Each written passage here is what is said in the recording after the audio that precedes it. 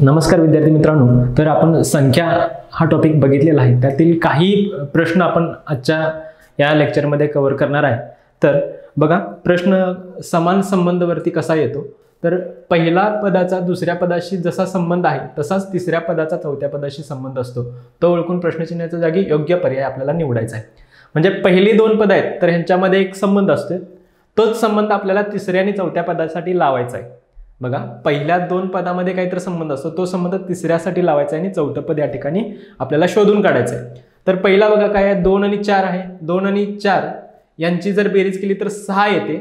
आणि म्हणजे हा एक संबंध आपण ह्या ठिकाणी लावू शकतो बघूया लावून काय होते चार आणि पाच यांची जर बेरीज केली तर नऊ येते. पर्यायामध्ये नऊ आहे. त्यामुळे पर्याय एक येईल. बघा पर्याय काय आला तर उत्तर बघा दोन आणि चार यांची बेरीज सहा आल्या आणि चार आणि पाच यांची बेरीज नऊ आहे. त्यामुळे पर्याय क्रमांक एक हे तुमचं उत्तर असणार आहे या ठिकाणी.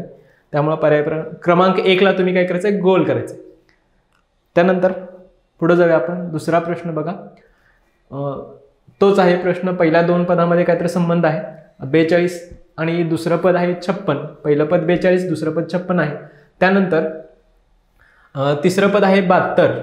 आणि आपल्याला चौथं पद काढायचं आहे तर बेचाळीस आणि छप्पन बघा अशा काही संख्या आहेत की त्या लगतच्या संख्या आहेत त्यांचा गुणाकार काही ठिकाणी येत असतो. बघा लगतच्या संख्या यांचा गुणाकार येतं सहा आणि सात यांचा गुणाकार येतोय बेचाळीस. त्यानंतर आठ आणि नऊ सॉरी सात आणि आठ यांचा गुणाकार येतोय छप्पन आणि बहात्तर हा नऊ आठ आणि नऊ यांचा गुणाकार येतो. त्यानंतर आपल्याला नऊ आणि दहा यांचा गुणाकार पुढे घ्यायला लागेल. बघा इथं सहा आणि सातचा गुणाकार आहे इथं सात आणि आठचा गुणाकार आहे इथं आठ आणि नऊचा गुणाकार आहे इथं येईल नऊ आणि दहाचा गुणाकार. बघा उत्तर काय आलं आपलं. बघा सहा आणि सातचं गुणवले बेचाळीस झालं सात आणि आठ गुणवले छप्पन झालं आणि आठ आणि नऊ गुणवले बहात्तर झालं. नव्वद दहा गुणवले नव्वद होईल. पर्याय क्रमांक दोन. पर्याय क्रमांक दोन तुम्ही रंगवायचा आहे. त्यानंतर आपण पुढं जाऊया. आता इथं बघा नऊ पाच चार दोन आहे आठ चार तीन आणि एक आहे. जर दोन पहिलं पद आणि दुसरं पद याचा जर विचार केला तर आपल्या असं लक्षात येईल की पहिल्या पदातला जो हा अंक आहे आणि दुसऱ्या पदातला हा अंक आहे तर ह्यामध्ये एकनं अंक कमी झालेला आहे. तशाच पद्धतीनं पाच आहे त्यानंतर इथं चार आहे इथं चार आहे इथं तीन आहे इथं दोन आहे इथं एक आहे. म्हणजे दुसऱ्या पदामधील ज्या संख्या आहेत त्या एकनं या ठिकाणी कमी झाल्या त्या पद्धतीनं जर विचार केला तर इथं बघा इथं सहा सहामधून एक गेलं तर पाच येईल. त्यानंतर तीनमधून एक गेलं तर दोन येईल आणि पाचमधून एक गेलं तर चार येईल. आणि दोनमधून परत एक गेलं तर एक येईल. म्हणजे संख्या काय तयार होईल इथं? पाच दोन चार एक. पाच दोन चार एक. पर्याय क्रमांक एक आहे. तो पर्याय क्रमांक एक निवडायचा आहे आपण आणि तो रंगवायचा आहे. तर पर्याय क्रमांक एक इथं आपण रंगवलेला आहे. नंतर पुढं जाऊया. चोवीस आणि एक्क्याऐंशी.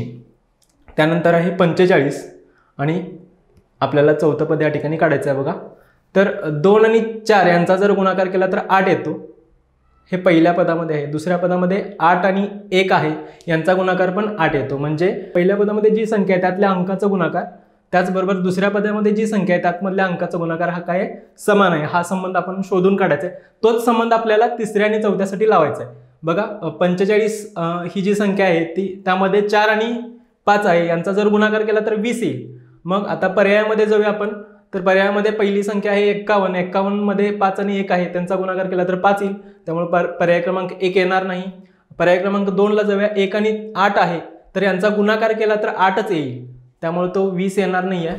त्यानंतर आठ आणि चार आहे. यांचा गुणाकार केला तर आठ चौक बत्तीस. तो पण येणार नाही. पण इथं पाच आणि चार आहे यांचा गुणाकार केला तर? तो वीस येईल म्हणजे पर्याय क्रमांक इथं चार येईल. बघा. तर पर्याय क्रमांक चार तुम्ही रंगवायचा आहे.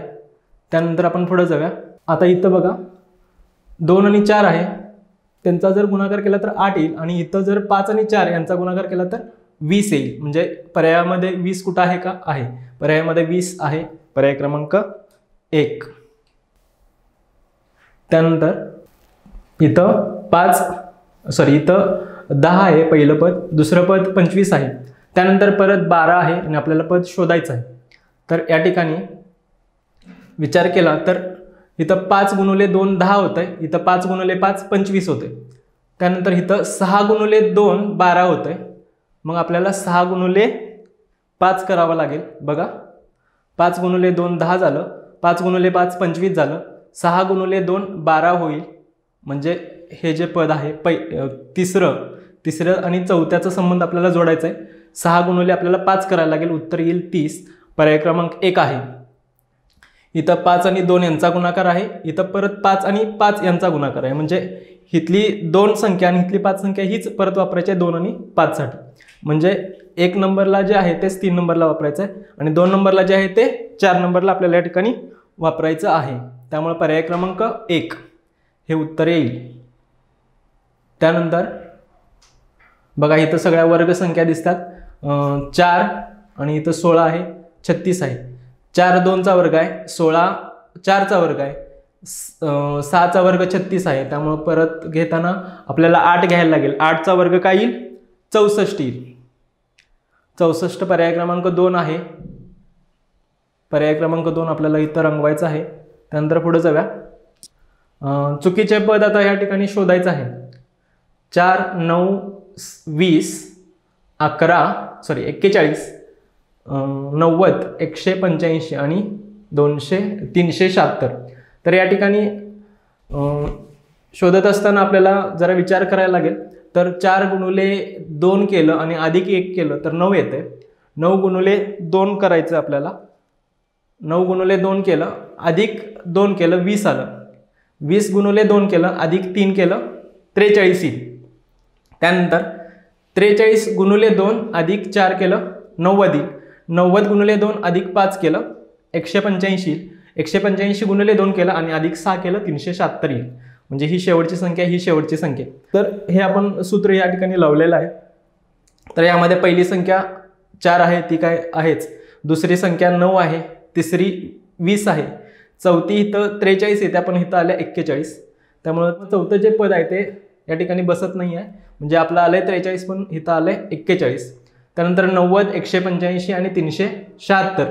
तर हे अंक या ठिकाणी आलेले आहेत. त्यामुळं एक्केचाळीस जे आहे ते गटात बसणार नाही. एक्केचाळीस पर्याय क्रमांक तीन आहे. त्यामुळे पर्याय क्रमांक तीन तुम्ही रंगवायचा आहे. त्यानंतर पुढं जाऊया आपण. अकरा तेरा सतरा पंचवीस एकतीस सदतीस. अकराच्या पुढं तीन गेलो तर आपण तेरा येत आहे तेराच्या पुढं चार गेलो तर सतरा येते सतराच्या पुढं सात पुढं गेलो तर बत्तीस होईल. आता बघा इथं अकरा जे आहे हे अकरा एक आणि एकनं तयार झालं आहे त्यामुळं एक अधिक एक आपण त्यामध्ये ॲड केलं. बघा एक अधिक एक ॲड केलं तर तेरा होईल. अशा प्रकारचे प्रश्न आपण अगोदर पण बघितलेले आहेत.